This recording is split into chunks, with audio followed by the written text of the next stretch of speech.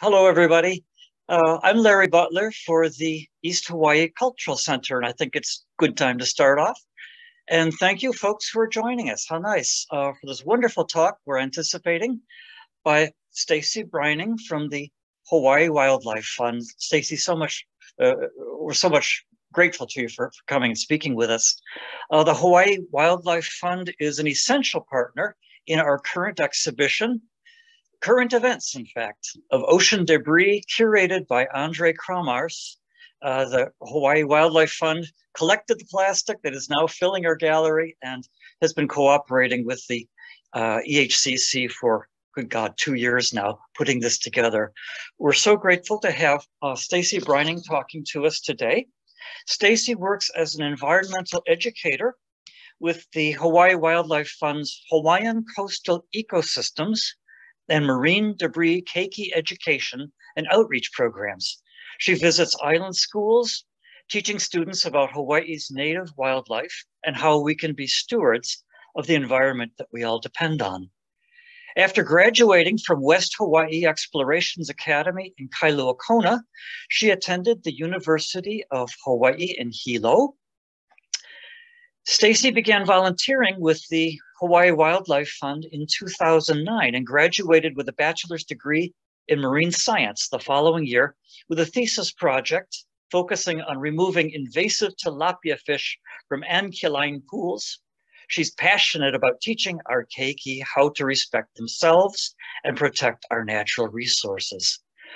When she isn't helping to remove marine debris or invasive plant species from the coastline, she is supporting the Hawaii Wildlife Fund's social media and marketing efforts, photographing orchids or hanging out with her two kids, Nico and Araceli. Stacey, thank you so much for being here, and I turn this over to you. Oh, a reminder, I'm sorry, um, chat. If, if you want to add questions during the chat, we'd love to have them, and we'll deal with them at the end. There. Ah, Stacey, thank you so much. Now I turn it over to you. Thank you, Larry. What a pleasure it is to be here. You can hear me okay? Everyone can hear me? Beautiful. Okay? Awesome. Okay. Um, yes. Thank you so much for be for being here, all of you, and, and listening to what we have to say. Um, I'm going to screen share here. I have a PowerPoint presentation to go through with you all. So give me just a moment to get that going, and we'll begin. All right. All righty. Beautiful. Great, thank you. All right, so here we are. Um, today, the title of my talk, or Hawaii Wildlife Fund's talk, I should say, is Plastic Pollution, Stories of Recovery, Reduction, and Lessons Learned from Ka'u. Um, the photograph that you see here on the cover page is quite a telling one of our story with marine debris. Um, the beach doesn't quite look like that anymore. Over the years, we've picked it up a lot, but this is very shocking and, and a regular sight near Kamilo Um, today, this is our, our outline. I'm going to introduce who Hawaii Wildlife Fund is. I'm going to kind of zoom out a little bit and present some global statistics and trends. I'm going to then talk about our recovery efforts get into marine debris, some of the nitty gritty about, about it and, and the plastic pollution that it is. Um, and then talk about prevention, education, and outreach, and um, policies and things that we have been doing in efforts to kind of curb this issue. So here we go. So here we are. This is our Hawaii Wildlife Fund team on the Hawaii, Hawaii Island. We have a team on Maui also. Um, but first, I'll tell you that Hawaii Wildlife Fund was uh, co-founded by Hannah Bernard and Bill Gilmartin. They're at the bottom left of your screen there um, in 1996. And um, we've come together over these years with the overarching mission to protect our native wildlife. And we do that through research, education, and conservation projects. Um, like I said, you can check out all the faces of our Hawaii Island team with a couple Maui people poking in there. And then these are our most recent Hawaii Island team members, which we're so happy to have, um, Bev, Mike, and Jody. You may recognize them, you may not, they're amazing. We're all biologists, educators, um, and just overall team members in this mission to protect our wildlife. Um, Hawaii Wildlife Fund has hmm, half a dozen at least different projects between the two islands. Um, today, obviously, I'm going to be focusing on marine debris, um, but we do have um, ties to monk seals with our co-founder Bill Gilmartin, who is kind of like the godfather of monk seals, and I'll get into that a little bit. Um, we also have, we, we, work directly with wildlife on Maui doing the Honuea, the hawksbill, the endangered hawksbill sea turtle project, recovery project. And we also have been doing um, coastal ecosystem restoration work here on the island, um, working with anchialine pools and those very unique habitats, uh, removing invasive plants, things like that. And then we've been doing our education and outreach for uh, quite a handful of years now, um, focusing on marine debris prevention and awareness, and also our coastal ecosystems program. But like I said, today we're going to be focusing on marine debris. Um, unfortunately, it affects all of our projects. Um, it is and you'll see why here. So um, our oceans connect us all. Here we are looking at the Pacific Ocean, um, Hawaii right there in the heart. And um, historically, we've gotten a lot of marine debris off of the ocean because of where we're located. Um, you can see we're pretty close there to the eastern garbage patch or the North Pacific subtropical high. Um, and then just in combination with the way that our islands are, here's the entire archipelago excuse me, archipelago. Can't even say it right now. You know what I mean. You can read it. So our islands are acting like a sieve there. So with the the way the ocean currents are going, which are clockwise direction, um, with the onshore winds, they kind of the islands just act like a comb, and with just getting lots of debris washing up onto our shores.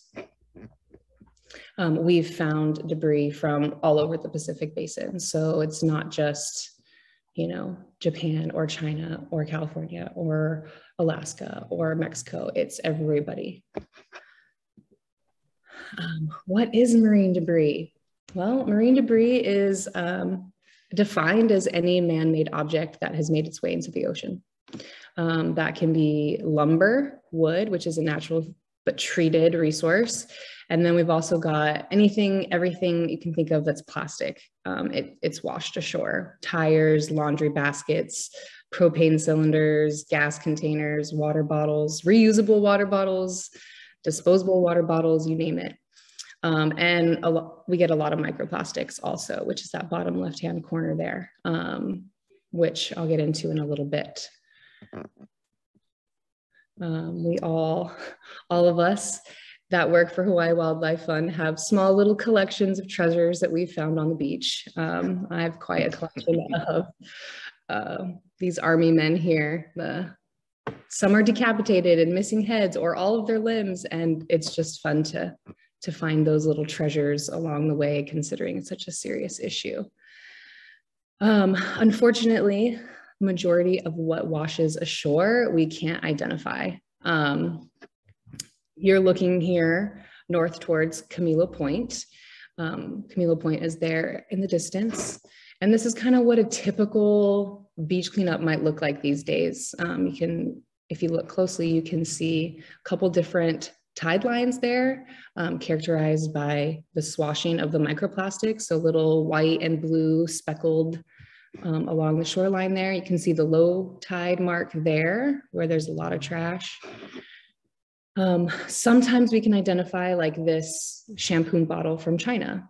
Um, sometimes we get local trash like this, um, you know, license plate that had a valid registration when it washed up surprisingly. Um, and the majority of the time it's things like this bolt hole where we can't, we can tell it was part of a boat. We can't tell where it was from or who it belonged to or anything like that. Um, so kind of interesting. And sometimes we find fun little treasures like glass floats. Um, fortunately, I've found one that's the one I have found over the last 12 years, um, but they're always fun fun to wash up. They, they do still wash up.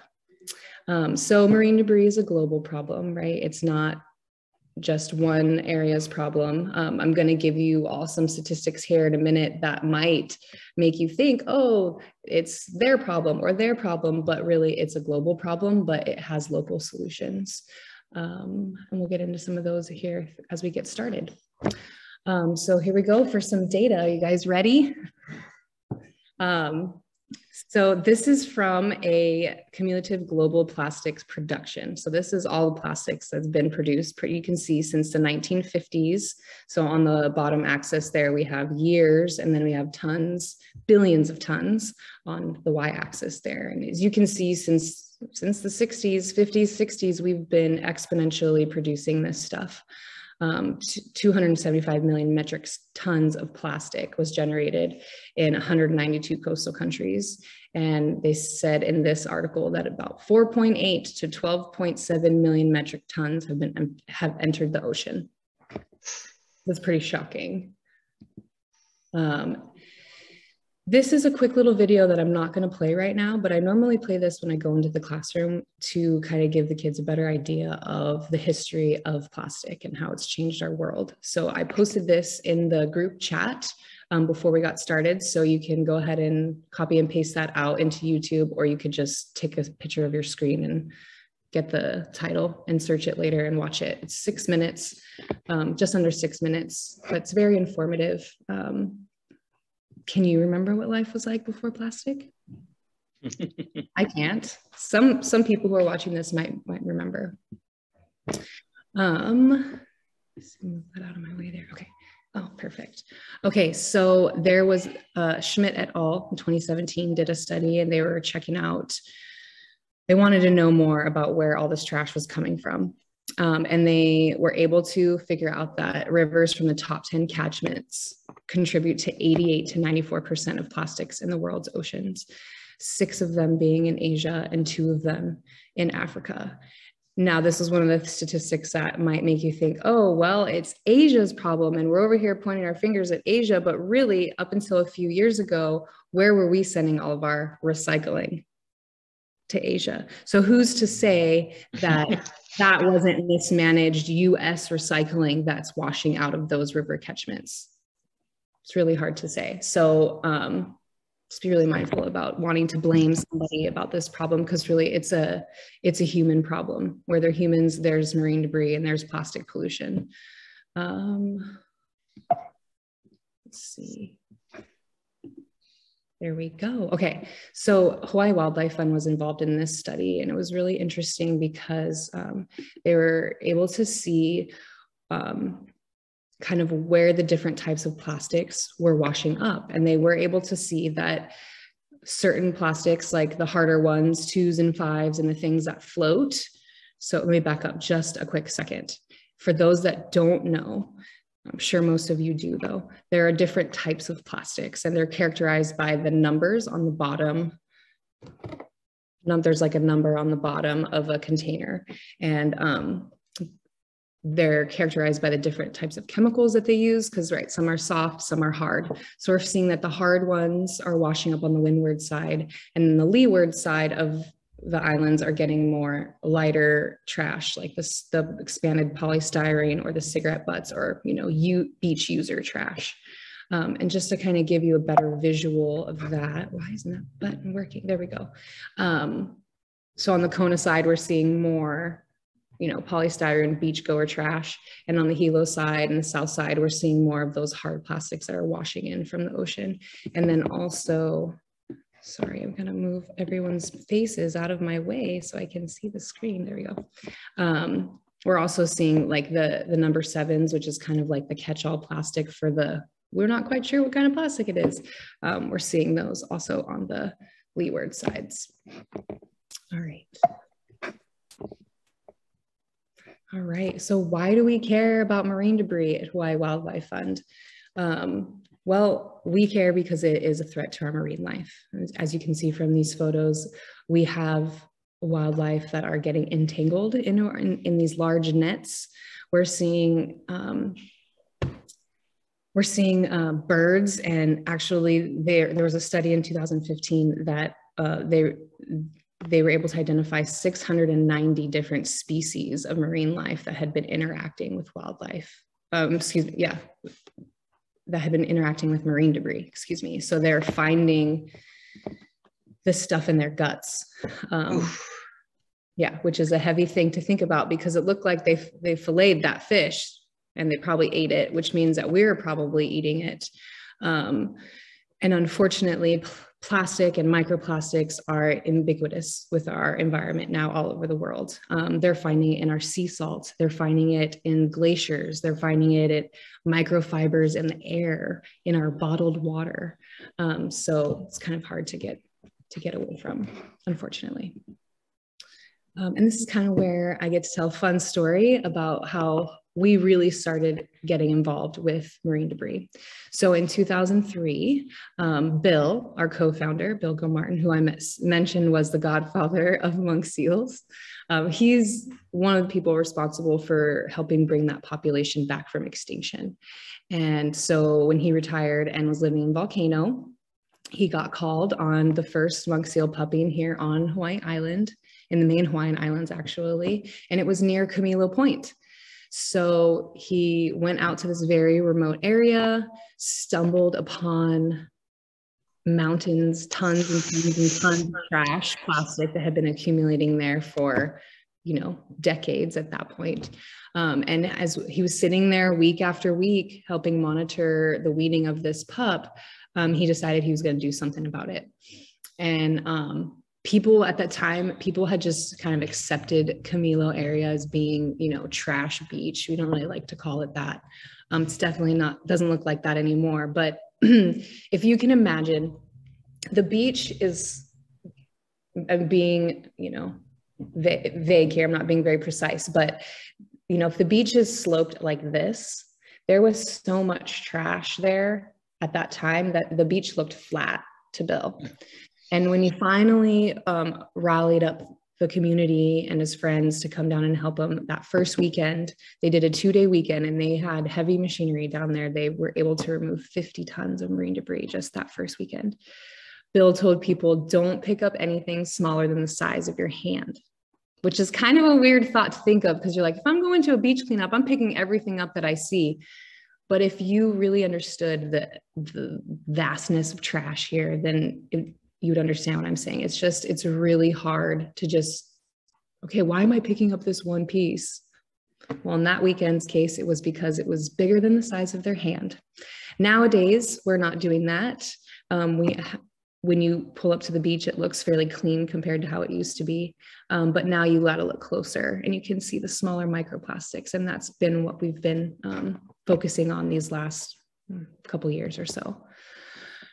Um, this is just an interesting piece of literature um, that you can kind of screenshot there and take a look at if you want. Um, but basically what it was saying, what it is saying is that not only is plastic um, polluting, it, plastic is polluting our environment every step of the way in its production and then also then when we incinerate it. And this is, this article is saying that pretty soon we're going, the emissions from burning plastics and an incinerator is going to um, exceed that of coal burning. And so hmm. on a global scale, that's just something to, to keep in mind there. Um, all right, so I'm gonna kind of bring it back to Hawaii here a little bit. Um, this is a photo, a local photo um, by our friend Lindsay Kramer, and it is an elkhorn coral that is bleaching and right in front of it, there is um, this our native domino damsel fish. And, you know, there's a lot of issues going on right now with climate change and, and, and what humans are doing to our environment. But the marine debris issue is something that we can actually do something about, right? So it's hard to be like, okay, I'm going to change the temperature or the pH of the ocean so that those corals stop bleaching. We can't do that. We don't have a magic wand, right? It can't be that instantaneous. But today and tomorrow, right now, we can choose wiser choices when we're buying and spending our money on are we going to buy something that's got single use plastic wrapped all over it, or we're going to spend our money on things that are going to last longer. Um, So it's just something to think about there. Um, so we're going to get into some of our cleanup stats here. So collectively, from 98 to 2021, um, us and our partners, we've removed over 360 tons. That's from Hawaii Island, Maui, Midway, and French Frigate Shoals in the Northwest Hawaiian Islands. So that is our statewide impact, which is pretty impressive, if you ask me. Um, our recovery efforts are volunteer powered. We would be abs- we would be nowhere without our volunteers. Um, 95% of our efforts are volunteer power. Um, and we have over, we've amassed over 47,000 documented volunteer hours since 2003, which is impressive. So if you've been on any of our beach cleanups, whether you've been a student in the past or just been an adult coming to volunteer with your family or by yourself with your friends, thank you. Um, you guys are amazing. We would be nowhere without you guys. Um, here's just some an ode to our volunteers and our beach cleanups. Um, we generally do about a, cle- a community cleanup a month or so is what it's been averaging and then private cleanups um, thrown in between there. Um, this is a map here of just Hawaii Island and you can see the dark uh, purpley spots. I don't know what color it comes out for you guys, but the dark spots are all of our cleanup sites around the island. So you can see most of our cleanup has been happening near the south point, but also a little bit in Kona and Hilo and Pololu. Okay, I believe this is from the mid 2000s, this photo right here this was like a typical looking beach cleanup when I first started working in 2009. And we have, like I was saying, um, lots of beach cleanups with school groups, uh, younger kids, with, and then also even some of our college students at um, the community college. We have lots of fun. These are pre-COVID days, obviously.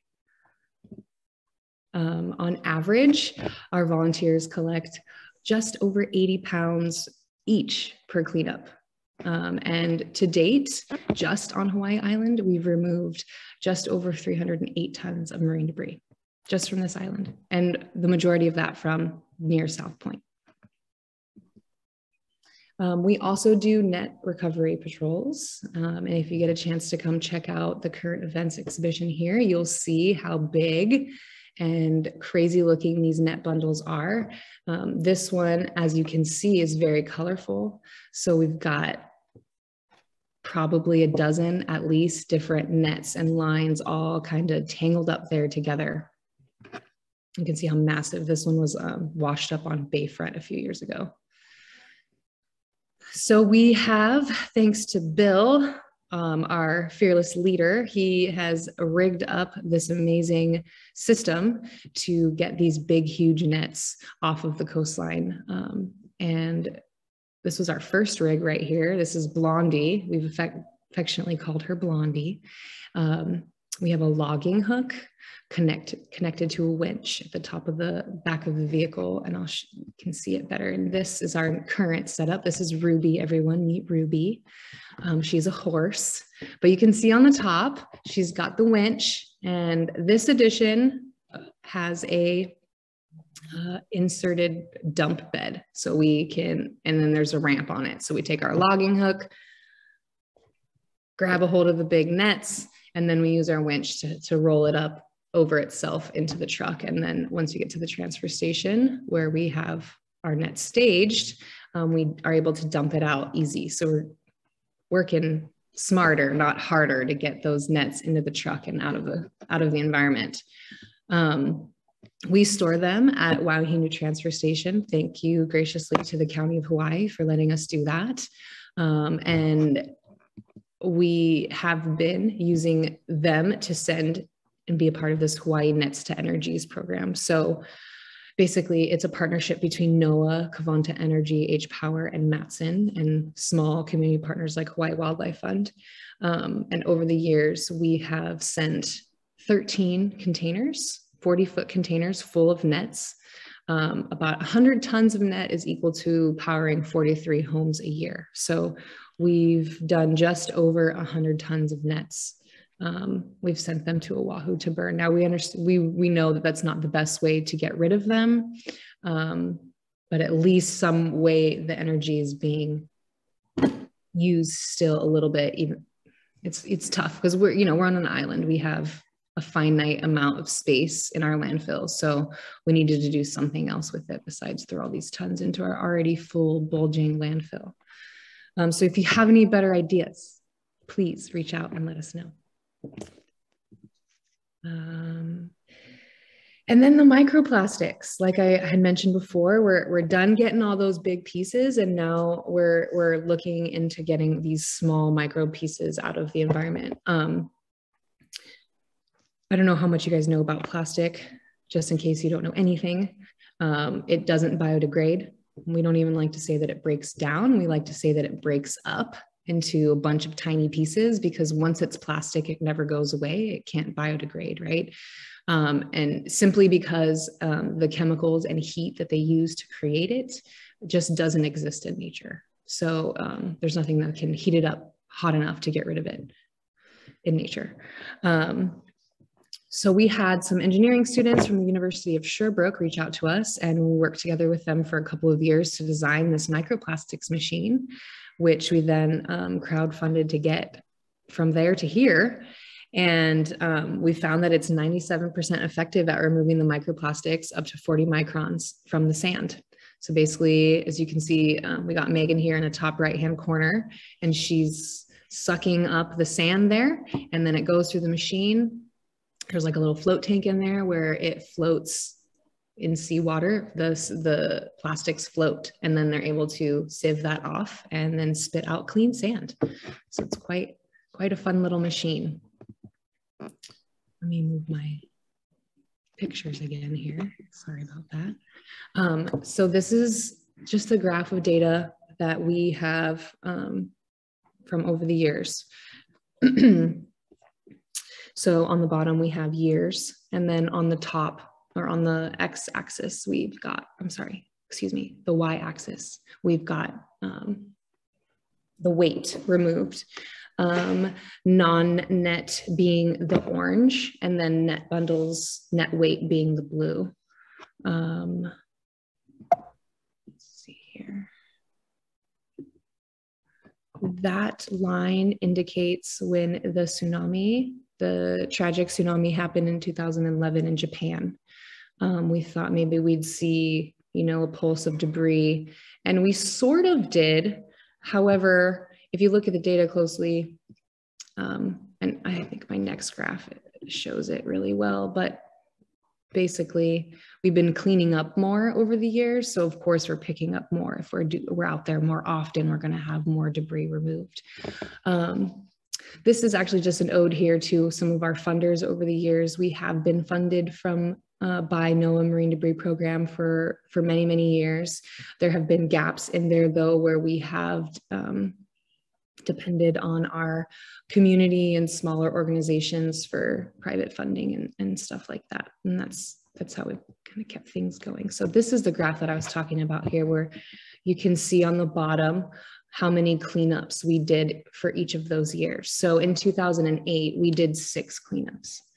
In 2016, we did 38, you know, um, and then we got to 2017, um, we did see kind of a pulse of debris coming in, um, but we also started cleaning up weekly, sometimes more than, than um, once a week. So of course, we're gonna have higher numbers there. Um, this just shows that the density of marine debris that we've picked up um, over the years, just kind of reiterating our work and effectiveness in the South Ka'u district. So yellow being the highest density of marine debris that we've removed, purple being low. Um, yeah, so this is a picture of our marine debris survey line. So I believe it was in 2016, we started collecting data kind of um, similarly to some of our partners out there. So we can kind of you know, gauge how accumulation is happening for us over here, accumulation of marine debris. So we've got 100 meter, 100 meters long, um, about 10 meters wide. So basically from the wherever the, the, the water line is all the way up to the higher high tide line, we were sweeping this 100 meter zone, collecting everything bigger than two and a half centimeters and cataloging everything, counting everything and trying to get a good snapshot of what is washing up there. Um, we've done 50 surveys, an average of 2,000, just over 2,000 pieces of marine debris. Um, and we're finding that 90, almost 95% of it is, is plastic. Excuse me. So here is a photo before one of our surveys.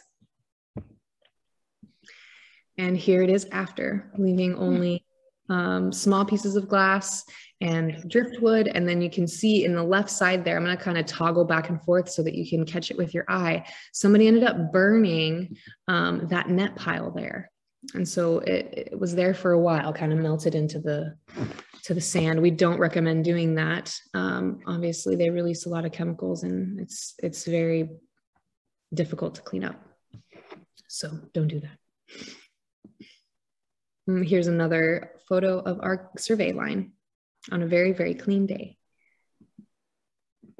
Okay, this is just reiterating that 90, almost 95% of the of the debris that we're picking up in the survey is plastic. Okay, and then here are, we've got dates, the dates of our 50 surveys there along the bottom on the x-axis, and then on the y-axis, we've got um, number numbers, uh, pieces of, of debris that we have picked up.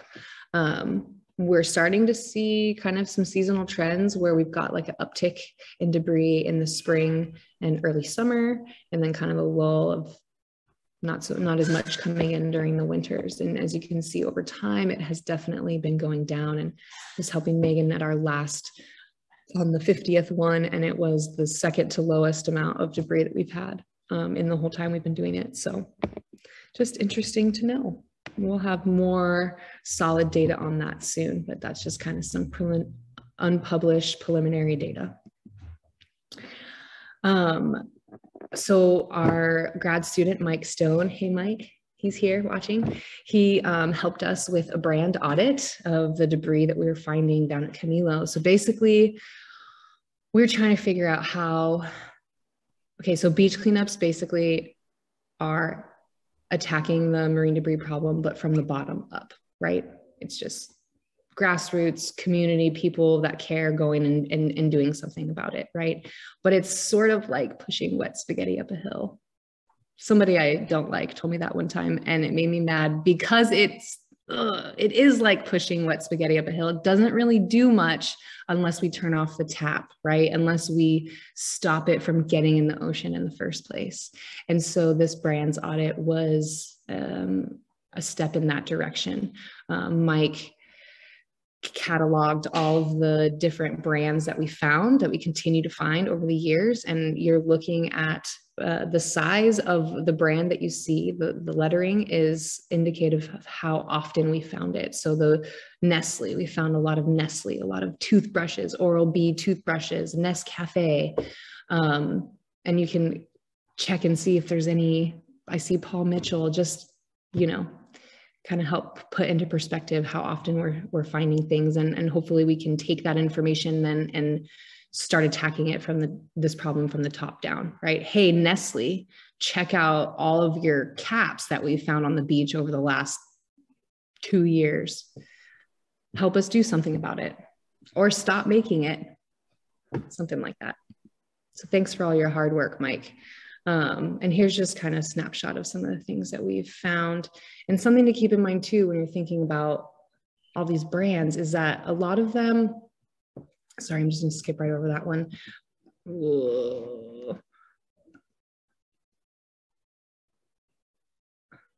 Sorry, I lost my train of thought because that's not the order I thought I was going in there.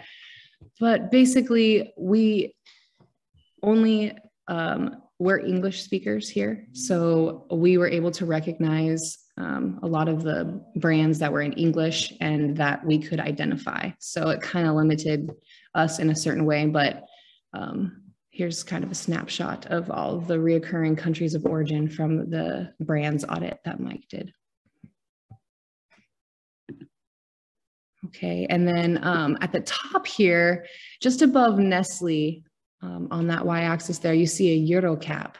And we recently, interestingly, we think it, that they all of these caps just started showing up um, from a container spill or something. But basically, we found thousands and thousands of caps that go on like two liter bottles with like unopened, completely brand new, clear caps.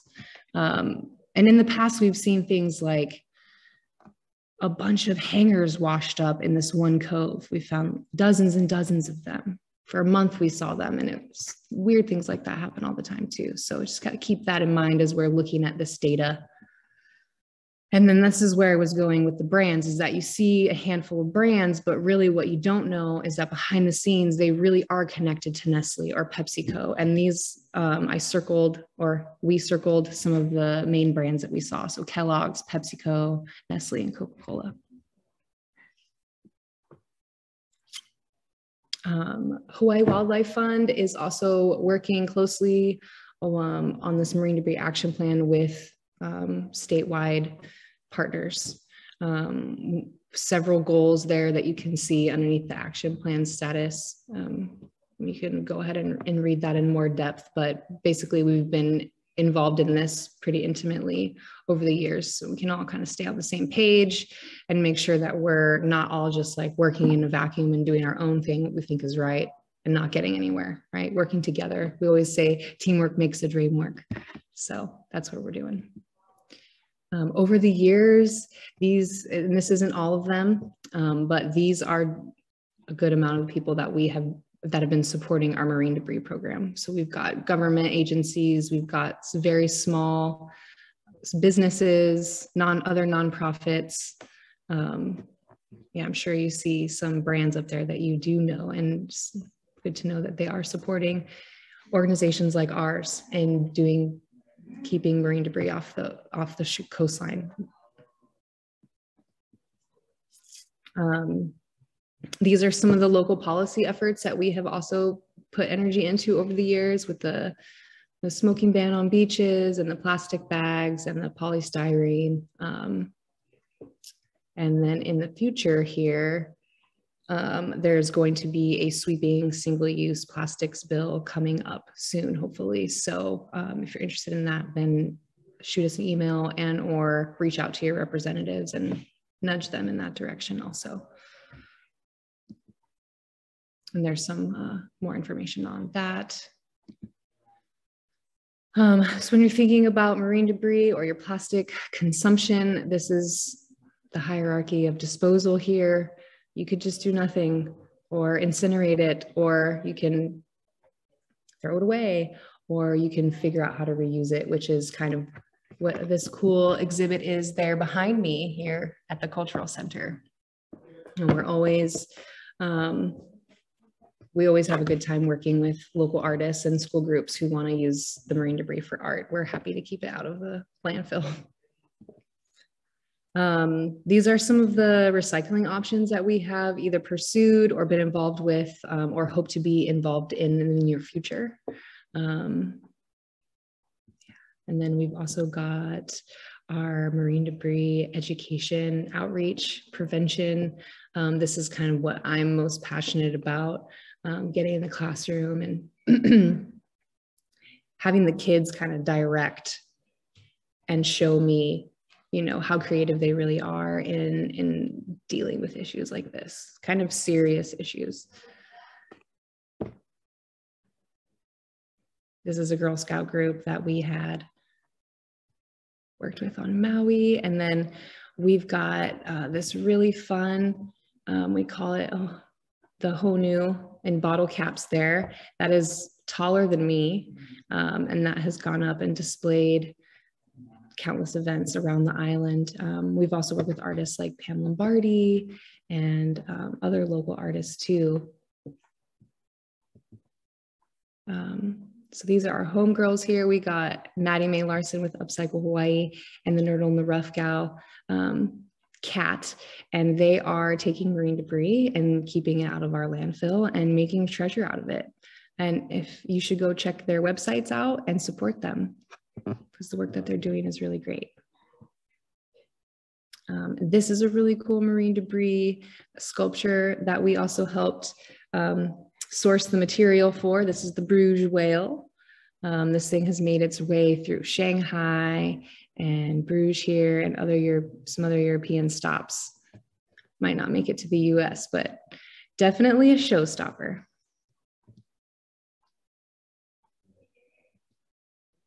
And pretty soon we're going to have some stuff up to present next time about this um, ex exhibition right behind me with the current events here at the East Hawaii Cultural Center.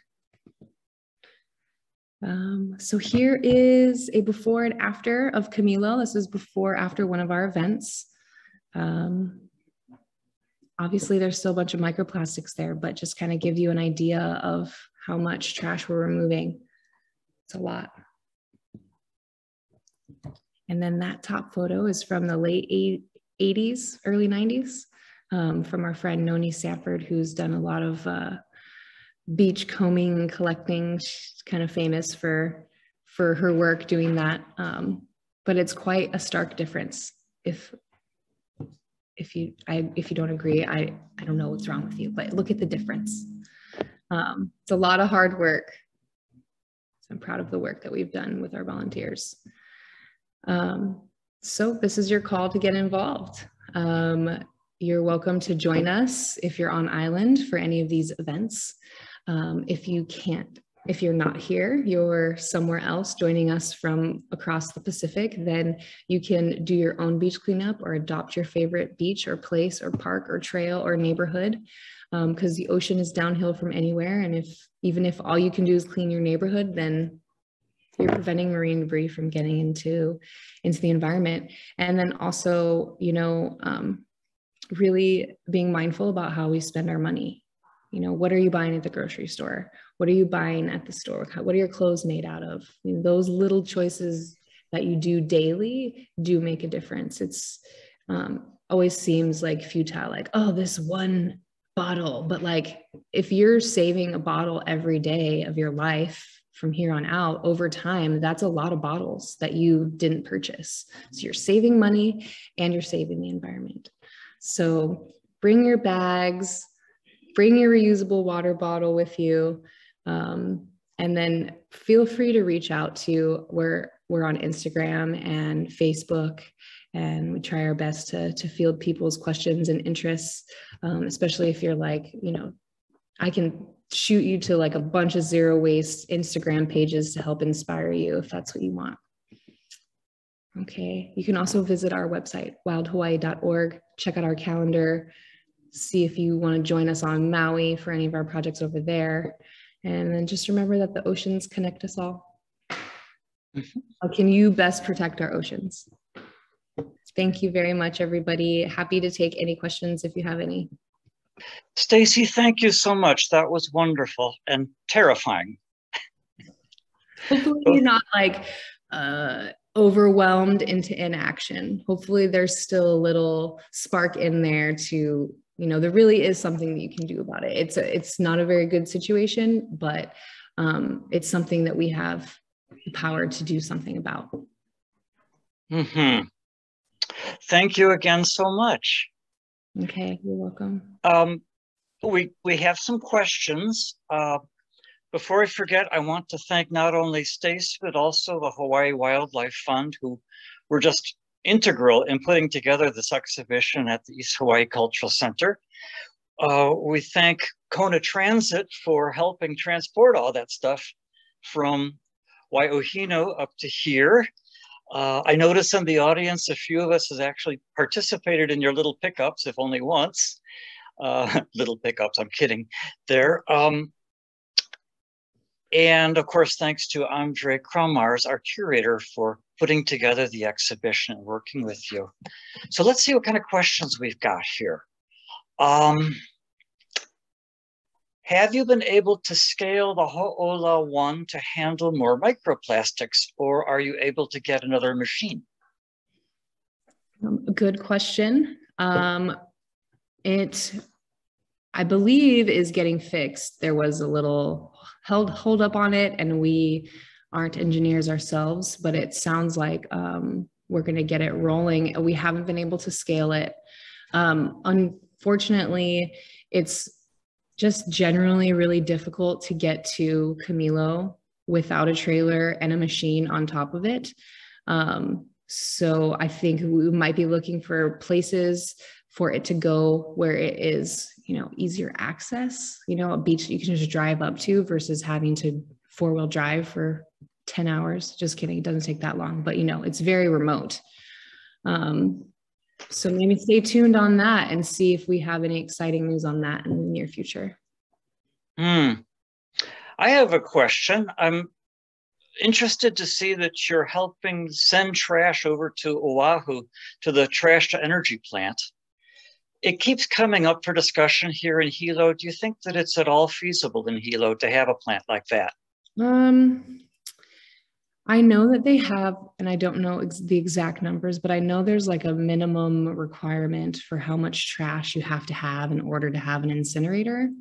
Mm-hmm. I'm not sure our island produces enough trash for that to be realistic for us.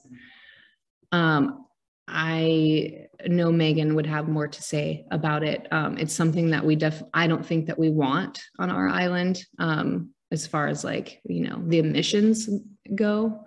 Mm-hmm. Um, yeah. Mm. It seems like a devil's bargain either way. Yeah, I know there's definitely people pushing for it. Um, but I also know that there's pushback against it. So, yeah. I mean, I don't know what's better paying money to ship it to Oahu.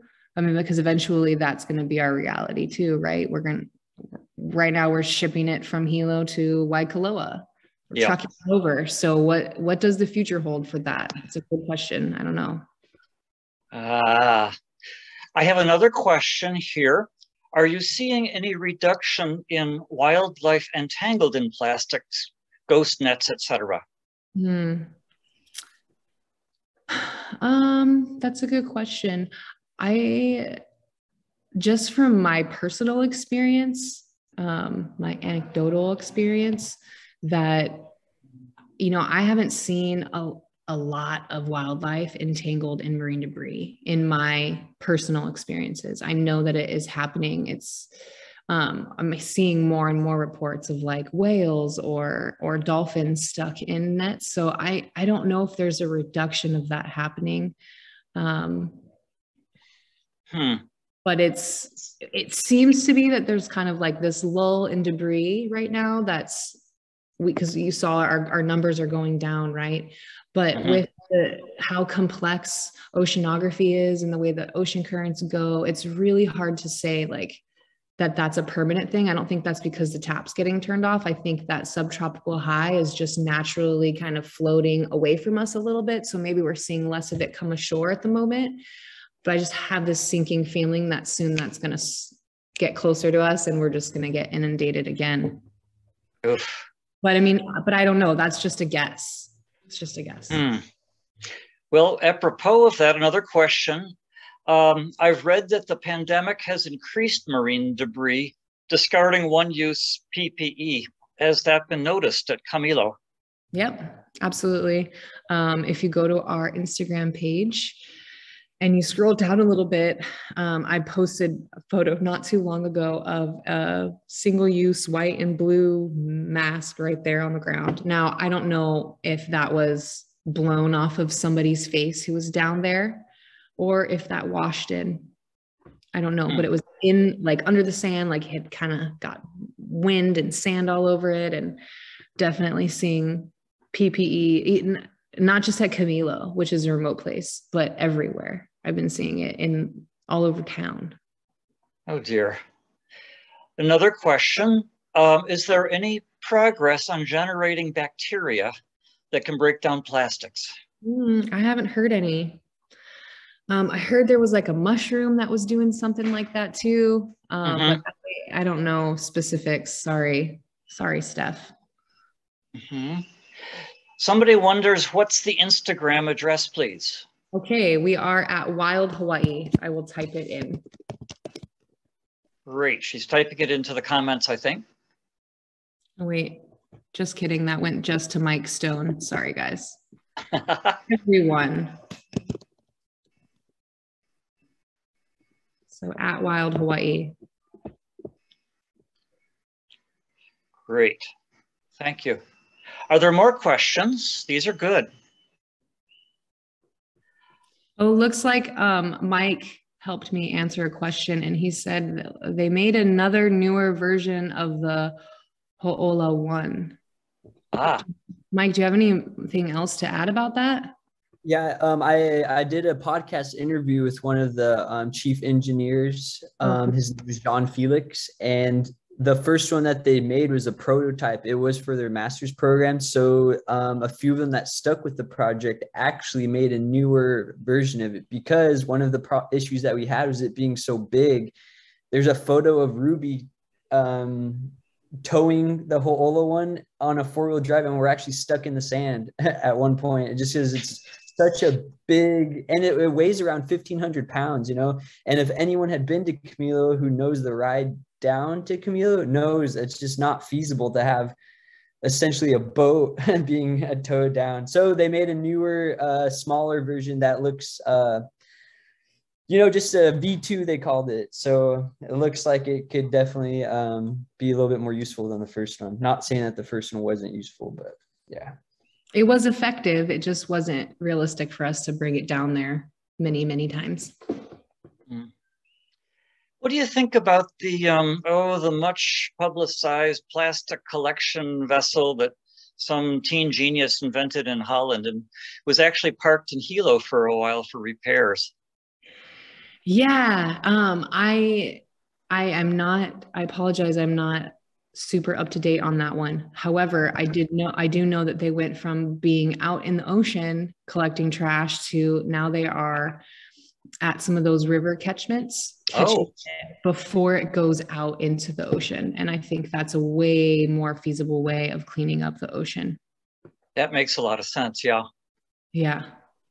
But okay. man, he's got a lot of support from people all over the world. And so that's really cool to see people get behind something like that. It is inspiring. Hmm. Okay, another question. If there was one thing everyone could do to help, what would that be? If there was one thing that you could do, um, I would really encourage you to just um, evaluate your relationship to plastic. Um, I know that it's really easy to villainize plastic, right? And make it evil. It doesn't biodegrade, it's everywhere. Eh. So easy to do that. Um, but just keep in mind too, like it's a very revolutionary material. It has revolutionized the medical industry. Um, I, personally have a brother who was in a car accident, and if it wasn't for plastic and having one of those tubes down his throat or the tubes coming out draining his lungs, he would be dead. And I know that there's plenty of people out there who who you guys might know that have a pacemaker or something, right? That has plastic in it. So it's becoming aware of our relationship to plastic. How are we using it? Are we using it in ways that are we being wasteful with it?